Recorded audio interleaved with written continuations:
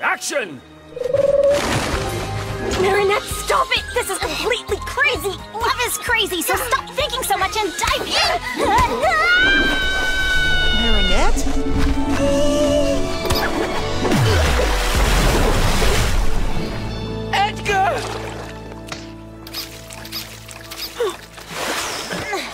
Marinette, what on earth are you doing here? Me? Well, um, I just came here to do a few laps and wind you up. I mean, unwind.